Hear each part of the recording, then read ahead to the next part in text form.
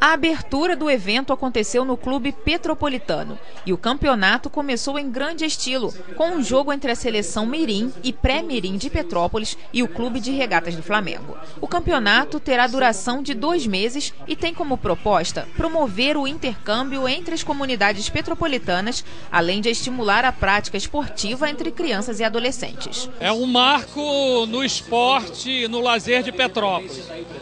É, foi um anseio da comunidade, nós constatamos isso através dos fóruns que fizemos para a confecção do Plano Municipal de Esporte. Dividido entre as categorias sub-13, sub-15 no futebol society e adulto no futebol de campo, as partidas da primeira fase são consideradas como jogos regionais, pois serão disputadas entre as próprias comunidades e bairros próximos.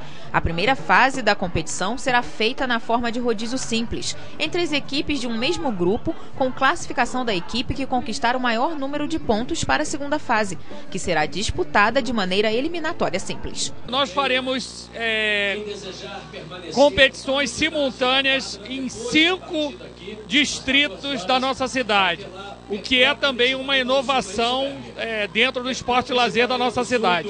Vale lembrar que as inscrições das comunidades para a categoria adulto ainda podem ser efetuadas até o dia 11 de maio. Os interessados podem ir à sede da Secretaria de Esporte e Lazer, que fica na rua Doutor Moreira da Fonseca, número 33, ao lado da Câmara de Vereadores, ou entrar em contato pelo telefone 2246 8676.